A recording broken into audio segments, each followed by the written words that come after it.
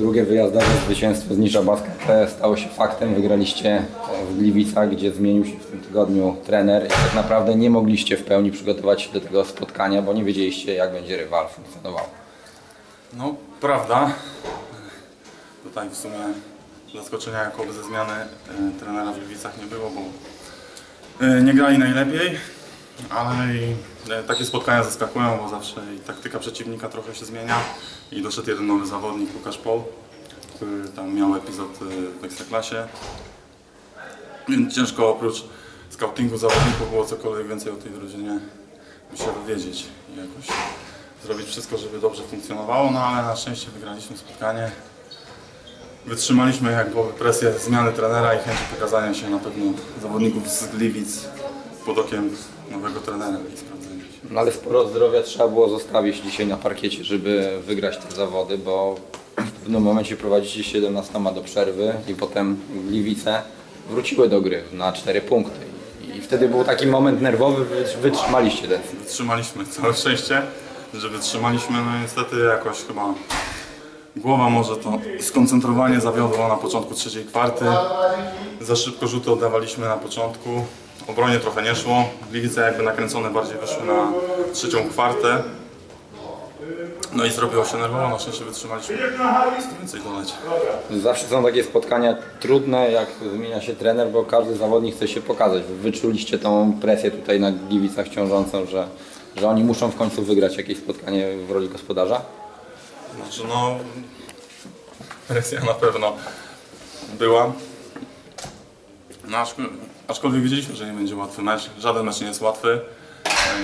Na pewno tutaj żaden zawodnik nie jest z- przypadku w pierwszej lidze i do każdego meczu trzeba odpowiednio podchodzić skoncentrowanym. No, wiadomo, kwestia zmiany trenera to jest bardzo duża rzecz, zwłaszcza w środku sezonu. No i na pewno po takich spotkaniach będzie jakoś dobierał ludzi odpowiednio sobie tre, trener Trulkiewicz. A ty jako koszykarz lepiej się czujesz w roli silnego skrzydłowego, czy bardziej środkowego? Bo w ostatnich dniach przeżyłeś e, zmianę tej pozycji, jeśli chodzi o znicz basket i, i widać to zwłaszcza po zbiórkach, że, że wyszło ci to na dobre. Zbiórki na pewno na dobre. Yy, Określam jak na tą ligę, uważam, że fizycznie jestem, mogę grać yy, na pozycji zarówno 4 jak i 5, aczkolwiek nie robi to dla mnie dużej różnicy, nie ma to dla mnie większego znaczenia. Przy zagrywkach, przy graniu. mm, Jestem też takim zawodnikiem, że lubię czasami mieć e, piłkę nie tylko pod koszem, ale i zmaneżować z góry przykładowo. Czy tam jakoś po prostu wejść i rozegrać jakąś piłkę, podać do kogoś wolnego w rogu. Tak to miało miejsce na przykład w Inowrocławiu. Meczu z Inowrocławiem. Pytam dlatego o to, bo koledzy uznali, właściwie głównie Damian Janiak, że to właśnie ty masz dzisiaj stanąć przed kamerą i, i cieszyć się w imieniu, w imieniu z wygranej, więc Bardzo czymś musiał, musiałeś dzisiaj zasłużyć e, moim zdaniem. zbiórkami w ataku szczególnie. Przytrzymałem i ostatnim pewnie przechwytem. No ty wróciłeś e, do Znicza Basket po rocznej przerwie spowodowanej kontuzją. Cały czas jeszcze grasz z tym stabilizatorem. Jakoś to podświadomie e, ochraniasz to kolano, czy czasem czujesz jeszcze ból? Myślę, że bardziej ze względu bezpieczeństwa ta liga tak jest nieobliczalna też, że czasami jeden błąd i, i może się skończyć nieszczęśliwie. Nie z mojej winy, tak to miało miejsce w poprzednim roku, że ktoś mi wpadł po prostu w kolano, ale na treningach gram już bez stabilizatora i czuję się bardzo dobrze. Więc może po, od połowy sezonu, czy tam od przyszłego już spróbuję odstawić na stałe stabilizator, ale na razie jeszcze w głowie to na pewno siedzi. Częściowo. Rok jeszcze się nie skończył ten koszykarski, bo gracie następne spotkanie z Radomiem. Ostatnie. Ostatnie w rundzie pierwszej i ostatnie w Pruszkowie. Jakieś, e, rozumiem, że chcecie wygrać, ale e, ob, jakieś jeszcze plany takie szersze może zdradzić na to spotkanie? szerszych planów zapewne będziemy jeszcze skautować drużynę z Radomia.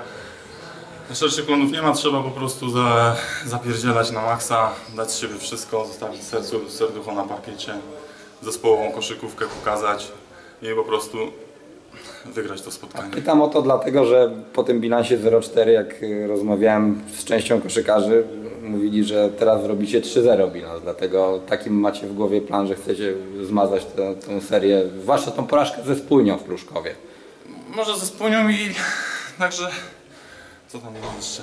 Było na pewno parę ciężkich meczów, tak jak w Łańcucie i w Krośnie, ale uważam, że mecz e, w Tychach bardzo dobrze graliśmy i ze Spójnią również. No, nie wyszło tak też bywa, taki jest sport. Na pewno najbardziej boli to spotkanie ze Spójnią, tak jak mówimy. No i z Siedlcami na pewno też. No dlatego 3-0 to jest taki nasz cel i bardzo się będziemy cieszyć, jeżeli się zrealizuje. Na razie jest 2-0 i cały czas do przodu. I drugą rundę zaczyna, zaczynając z bilansem 10-5, bardzo dobrze. Będzie świętować też nowy rok z takim bilansem. Spokojna głowa i To już na zakończenie minęło 5 minut od spotkania. Mateusz szedł cały czas tak, tak jakby wyszedł e, prosto spod prysznica. Prysznica. Tak.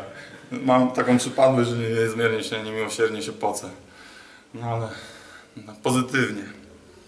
Wszystko. Najważniejsze, że piłka nie jest mokra później. Dzięki. Dzięki.